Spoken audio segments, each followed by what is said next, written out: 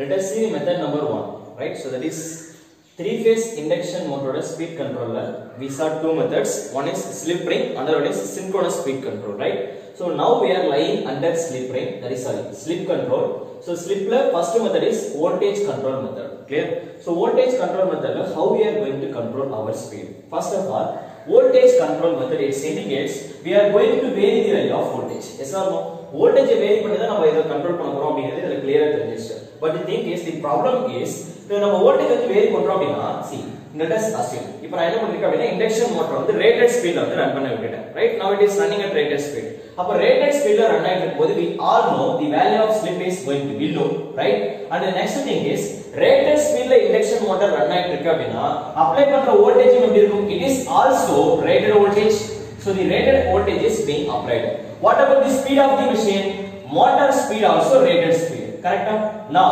i would like to control my speed of the motor the problem is already machine the rated voltage தான் run ஆயிட்டு இருக்கு அப்படின்னா we cannot go beyond this rated voltage clear அப்ப இந்த வோல்டேஜ்க்கு மேல நம்மளால போக முடியாது அப்படின்னா the conclusion is we can go below the rated voltage right இதுக்கு கீழ நீங்க போய்க்கலாம் ஆனா இதுக்கு மேல rated voltage voltageக்கு மேல போக முடியாது we all know voltage is directly proportional to insulation right வைண்டிங்கோட இன்சுலேஷனுக்கு வந்து வோல்டேஜ் வந்து டைரக்ட்லி ப்ரொபோஷனல் இன்சுலேஷன் நீங்க வோல்டேஜ் வந்து ரேட்டட் வோல்டேஜ்க்கு மேல அப்ளை பண்ணீங்க அப்படின்னா இன்சுலேஷன் மே கெட் டேமேஜ் அப்ப இத அவாய்ட் பண்ணோம் அப்படின்னா வோல்டேஜ் வந்து ரேட்டட் வோல்டேஜ்க்கு மேல போக முடியாது. ஆனா வோல்டேஜ் வந்து ரேட்டட் வோல்டேஜ்க்கு கீழே நம்ம கொண்டு வரலாம். அப்ப வோல்டேஜ் ரேட்டட் வோல்டேஜ்க்கு கீழே கொண்டு வரலாம் அப்படின்னா ஸ்பீடையும் ரேட்டட் ஸ்பீடுக்கு கீழே தான் கொண்டு வர முடியும். So the conclusion is here you can control the speed of the machine below its rated speed.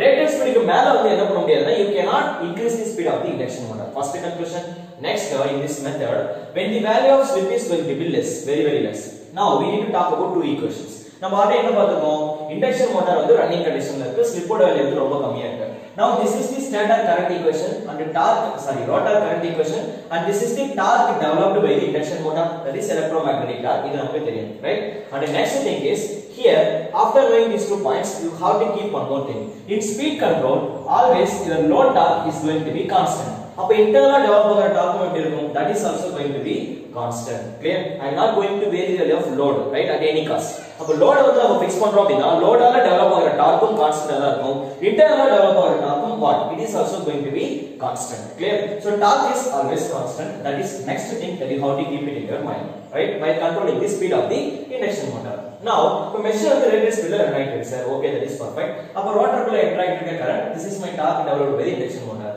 just apply very simple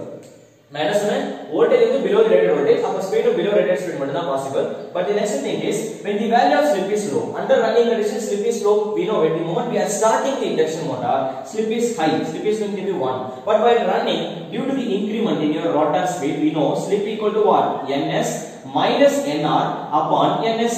ஸ்டார்டிங்ல ரோட்டரோட ஸ்பீட் வந்து 0 அதனால ns ns கேன்சல் ஆயிட்டு 1 வந்துச்சு whereas under running rotor speed is keep on increasing so slip is started decreasing so the value of slip is going to be low slip ஓட value கம்மி ஆயிடுச்சு அப்படினா let us take the rotor current Current law the equation under this is approximate rotor current equation that we know right now here when the value of slip is going to be less i i can say r r by s is become greater than the value of xr because denominator ல term வந்து கம்மியா இருக்கா overall term வந்து கண்டிப்பா அதிகமா தான் இருக்கும் அப்ப xr உடைய இதோட வேல்யூ வந்து ரொம்ப அதிகமா இருக்கு in such a case approximately i can neglect the effect of rotor reactance அப்ப rotor உடைய current வந்து நம்ம எப்படி எழுதிக்கலாம் அப்படினா er by rr by s whole square under root அப்ப square root cancel ஆயிடும் இவங்க ரெண்டு பேரும் வெளியில வந்துருவாங்க denominator of denominator will be in the numerator அப்ப s வந்து numerator வந்துரும் so SAP into er by rr dash இது நம்ம அப்ராக்ஸிமேட்டா என்ன பண்ணிக்கலாம் அப்படினா it is equal to stator current and this rotor voltage is approximately equal to stator voltage so i can say this is s times of stator voltage divided by rr dash right that is stator supply voltage simply i can say voltage that is being applied at the stator clear next அதே மாதிரி இப்ப torque equation நம்ம எழுதனாலும் torque equation எப்படி எழுதலாம் see when the moment we are neglecting this effect it can be further written as rr dash by s whole square ஒரு term நியூமரேட்டர்ல அதே rr dash by s இருக்கா இதுல ஒரு டேர்ம் வந்து கேன்சல் ஆயிடும் and நம்ம எங்க இருக்கோம் we are lying under slip control ஆக்சுவலா நம்ம ரெண்டு டெக்னிக் பார்த்தோம் one is synchronous speed ஸ்பீட கண்ட்ரோல் பண்ணி நம்ம கண்ட்ரோல் பண்ணிக்கலாம் இன்னொரு வந்து slip control slip control synchronous speed வந்து கான்ஸ்டன்ட் synchronous speed control மெத்தட்ல ஸ்லிப் வந்து கான்ஸ்டன்ட் இப்போ நம்ம ஸ்லிப்புக்கு அடியில இருக்கிறதால the value of synchronous speed is going to be constant அப்ப நம்ம synchronous வந்து கான்ஸ்டன்ட்டா மெயின்டைன் பண்ணிக்கலாம் right so omega S is going to be constant அப்ப டார்கோட ஈக்குவேஷன் என்ன வரும்? இந்த டேர்ம் நம்ம ரிமூவ் பண்ணியாச்சு. ஒரு டேர்ம் இதுல கேன்சல் ஆயிடுச்சுனா ஸ்லிப் நியூமரேட்டருக்கு வந்துரும். Again uh, e is approximately equal to scatter voltage அப்ப நான் v அப்படி டினோட் பண்ணிருக்கேன் so that is v square இங்க இருக்க s வந்து நியூமரேட்டருக்கு வந்துரும். That is s divided by rr dash. ஆக்சுவலா அங்க என்ன ஒமேகா s இருக்கும். Since omega s is constant அப்ப it is directly proportional to நான் கான்ஸ்டன்ட் டேர்ம்ல ரிமூவ் பண்ணிட்டேன். ஸ்லிப் கண்ட்ரோல்ல சின்க்ரோனஸ் ஸ்பீட் வந்து கான்ஸ்டன்ட் அதாவது ஒமேகா s வந்து constant I can remove it clear அப்ப torque is directly proportional to v square s divided by rr dash. Very very very very important equation in your exam point of view. Clear? ஏன்னா questions இது வந்து அடிக்கடி gate கேட்டுட்டே இருப்பாங்க. Let us ஆக்சுவலா இப்போ நம்ம என்ன சொல்றோம் அப்படின்னா டார்கோட வேலையை வந்து கான்ஸ்டன்ட்டா மெயின்டைன் பண்ணிட்டோம் இப்போ எக்ஸாம்ல என்ன பண்ணுவோம் அப்படின்னா we know we are trying to maintain the value of torque as constant. கண்டிப்பா டார்க் வந்து கான்ஸ்டன்ட்டா தான் இருக்கும் போது क्वेश्चன்லயே அந்த ஸ்டேட்மென்ட் தான் அவங்க மென்ஷன் பண்ணுவாங்க. You no need to worry about அதே மாதிரி not out ரெசிஸ்டன்ஸ் வந்து பிக்சர் இது ஒன்ஸ் வந்து டிசைன் பண்ணும்போது நம்ம ஃபிக்ஸ் பண்ணோம்னா அது அப்படியே பிக்சர் ஆகிடும் right so here I not going to vary the value of resistance so that is fixed அப்ப நெக்ஸ்ட் திங் யார் இருக்கா?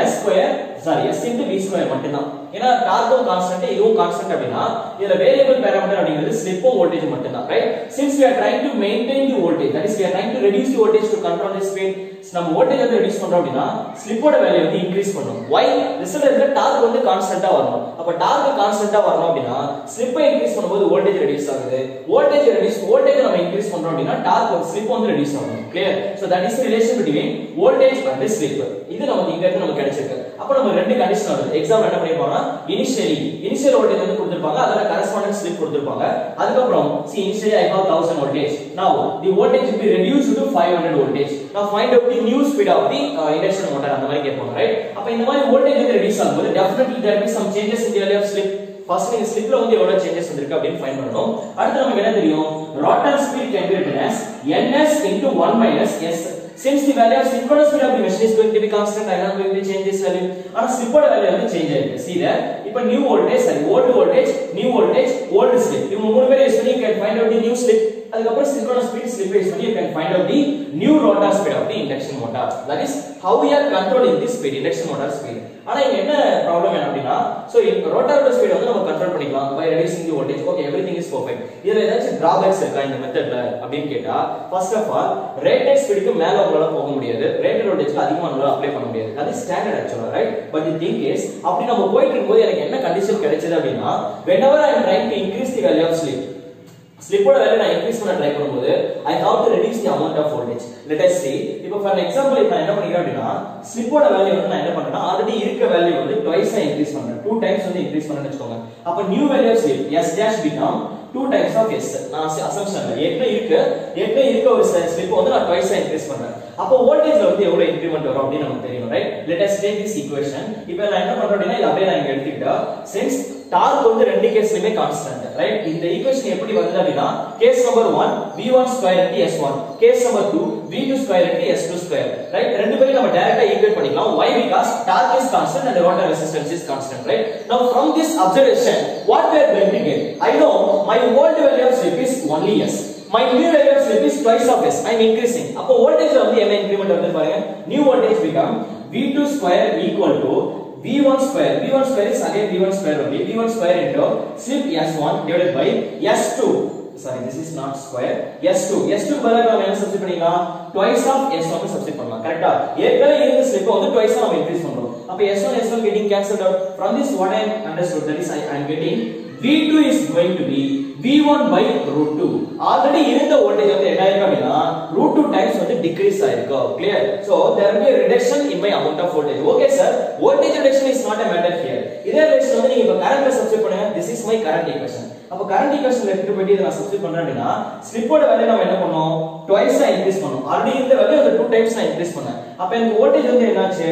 ரூட் டூ டைம்ஸ் வந்து ரெடியூஸ் ஆயிடுச்சு. ஆல்ரெடி இருந்த வேல்யூ வந்து ரூட் டூ டைம்ஸ் ரெடியூஸ் ஆயிருக்கு. டிவைடட் பை ரோட்டர் ரெசிஸ்டன்ஸ் வந்து constant இதுல அதுல எதுவும் ப்ராப்ளம் கிடையாது. பட் இதெல்லாம் என்ன இருக்கு பாருங்க?